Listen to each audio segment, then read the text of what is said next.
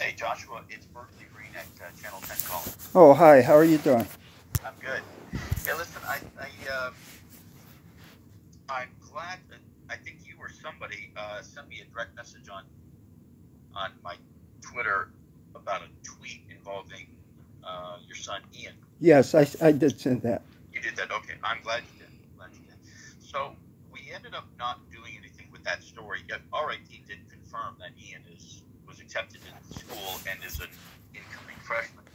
Um, but part of the reason why it was a difficult story on our end and why my editors didn't, you know, initially jump right at it is because, um, I mean, if I could be honest, you didn't fill out the proper paperwork. So that that is a huge hurdle for us. Is when when uh, say the injured party made the mistake.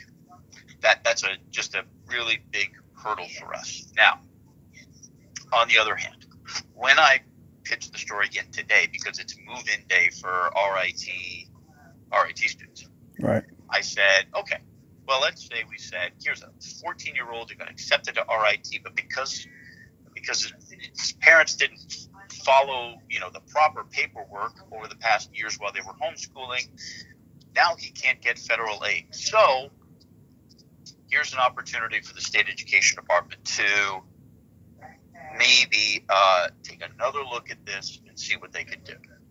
That would be it. But that again, I will, uh, and I, I just am 100% honest with people. That's that's the biggest hurdle that we've got in, in telling the story. Um, I do think it's timely now. I do think it's timely now. But let me ask you just a couple of questions. Sure. Um, did Eian have to? So Eian did not take the SAT or the ACT, as I understand it, because RIT doesn't require that. Um, is that do I have correct or is that incorrect? That is correct. Correct. Okay, hold on.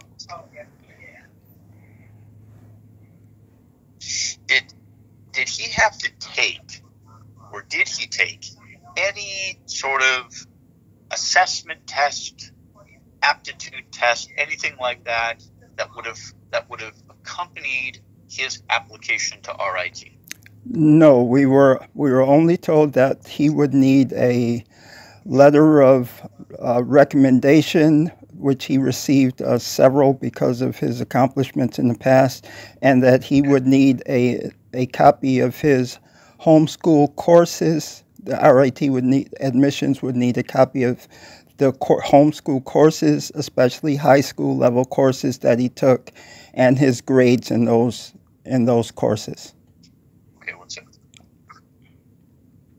and and to know when his official uh, graduation date from homeschool was. And after they received those items, then we were we were informed three days, two or three days later, that that he had in fact been accepted into RIT. Okay. And RIT again, RIT confirmed to me his acceptance. Um,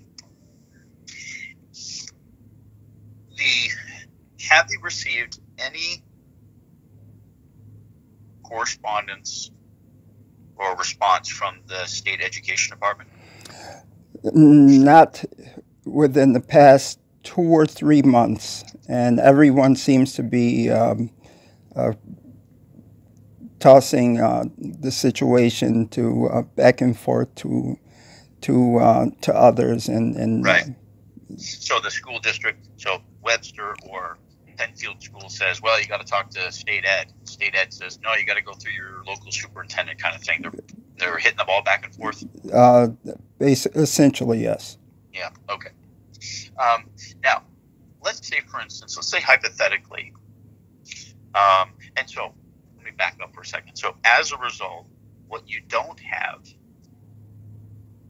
in terms of getting finan- federal financial aid is you don't have a certified high school homeschool diploma or certificate. Is that correct? He has a homeschool uh, transcript and diploma, but it is not being apparently, according to RIT, and FAFSA rules would not consider it certified unless someone in the local school district or the or the state education department simply looks at it and says, "Yes, these courses and these grades are sufficient for graduating from high school in this district." That's that that seems to be a, a no-brainer to me, even retroactively. You know, you, you if and again, there's there's issues regarding my lack of trust regard uh, with with certain uh, with school local school districts, uh, which goes back a long time. But but for anyone to uh, profess to be at all interest in, interested in the best interests of children, to, to refuse to even look at the transcript and say, okay, regardless of what the parent or parents you know, may have done or may not have done, you know, this, this, uh, this student's um, uh, the courses that were taken and the, and the grades in those courses are, are certainly um, sufficient for graduating.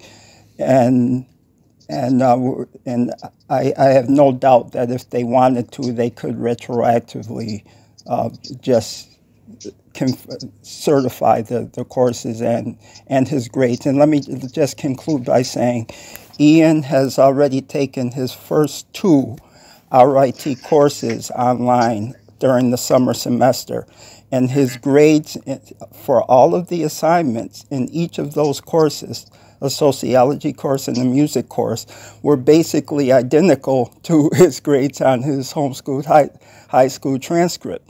So, um, so he, he's already taken his first two courses, and and it seems like he's he's being uh, uh, he's being uh, restricted, uh, which can have a chilling effect, especially on on the minority male you know, to, to strive for, um, for, for excellence and then to, uh, to have people stand in this path with, with stop signs and, and, and slow down signs and, say, and detour signs to prevent him from, from doing what he's been doing his whole life, which is learning at a very high level and a very rapid pace. Okay. Where is Eian today? Is he, is he at home? He's right here sitting next to me. Okay. All righty.